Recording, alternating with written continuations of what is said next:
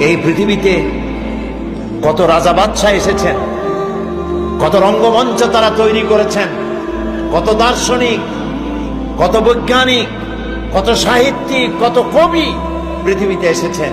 কিন্তু মানুষের কাছে গ্রহণযোগ্য আদর্শ নিজের চরিত্র দিয়ে কেউ দেখায় যেতে পারেন নবী করিম সাল্লাহ সাল্লাম এক ব্যতিক্রম ধর্মী মানুষ আল্লাহ তাকে পাঠাইছিলেন পৃথিবীতে। তার জীবন দুই রকম ছিল না।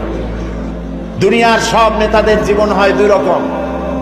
সাধারণত একটা হচ্ছে পাবলিক ক্যারেক্টার আর একটা হলো পার্সোনাল ক্যারেক্টার একটা ব্যক্তিগত জীবন, ব্যক্তিগত চরিত্র, আর একটা মানুষকে দেখাবার মতো চরিত্র।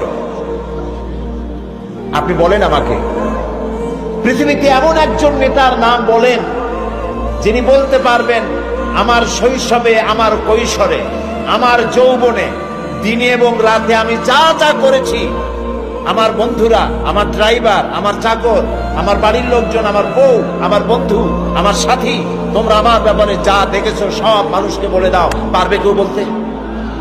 এরকম আসতে বললেন। কথা বুঝতে পেরেছেন কিনা? তাহলে বলেন, এরকম কেউ বলতে পারবে? এবার যার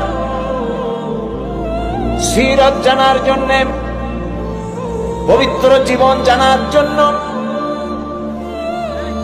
আরামকে হারাম করে মাঠের ভিতরে বিনা বিছানায় যারা বসতে বসেছেন, যার জীবনকে জানার জন্য তার সম্পর্কে শোনাই।